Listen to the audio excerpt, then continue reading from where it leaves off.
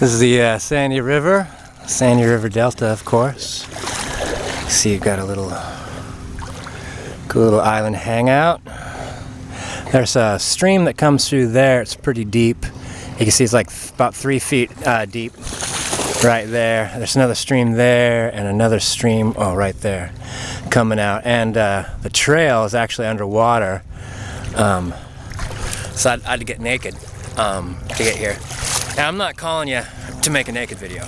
I'm not uh, Black Metal Troy. Hi, Black Metal. Um, reptilian flyover.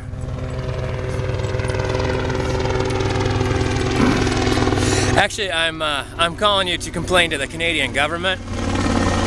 Actually, uh, as far as I know, the, my the, my only contact in the Canadian go government or representative is uh, Mr. Runaway Five. Uh, Mr. Runaway 5, uh, when I got to this island, it was covered in Canadian goose poop. Um, so I spent like the first 15 minutes scooping stuff off, and there's still tons of poop there. Um, I don't know what you guys need to do if you need to diaper up your geese, if you're gonna let them out of your country.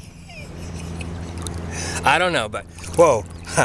But uh, since you're responsible, um, you know, it's in your hands now, so if you could fix that, that'd be great.